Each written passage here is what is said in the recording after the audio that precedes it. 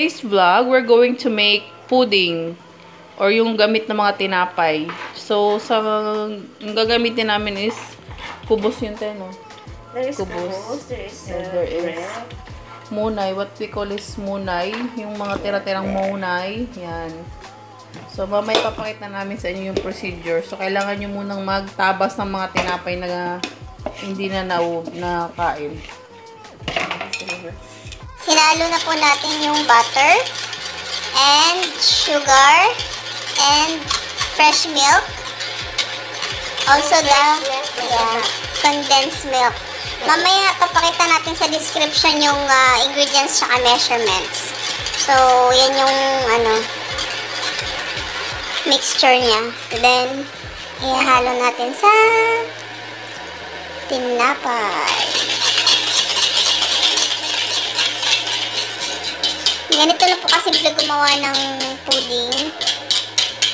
Hindi mo na kailangan ng mga bonggang budget para makagawa ka ng pudding. Ito po yung lockdown pudding natin. Lockdown pudding recipe. Yan, tas halo-halo. Hanggang sa ma-incorporate na yung gatas tsaka yung tinapay. Unfortunately, kailangan natin magdagdag ng gatas. Yes, kasi dry siya.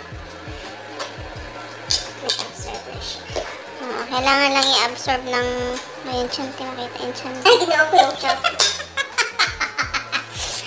kailangan maano, kailangan medyo moist siya guys para maano. Oo, so,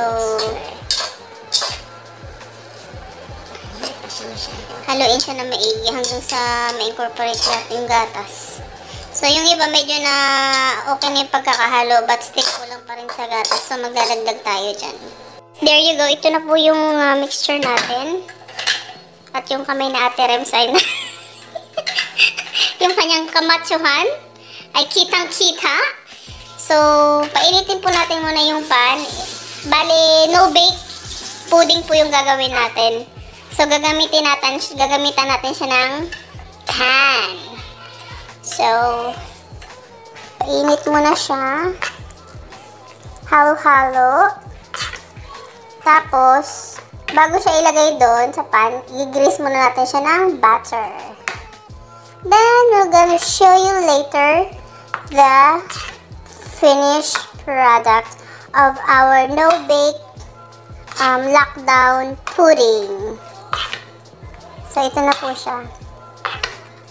Don't worry guys, uh, ilalagay ko naman sa description yung ano, ingredients at measurements. So, stay tuned and enjoy watching. So guys, this is how it looks. Tinapay lang, sapat na. Pwede na kayong magkaroon ng pudding. Tinapay at kawali. Kawali. siya. Mm. Kahit walang oven, pwedeng pwede. So, abangan nyo mamaya yung finished product ng aming fooding. Ito po yung finished product. Hinihiwa na po natin siya. Sobrang sarap na guys. Affordable na. Dapat pinakita ko na kumakain ka talaga. Mamaya, magmumukbang ako. so, until next vlog guys.